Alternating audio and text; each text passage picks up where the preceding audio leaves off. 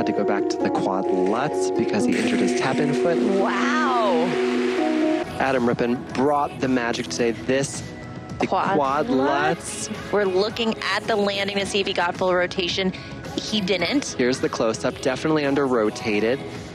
It has to be a quarter or less to be considered a quad. You can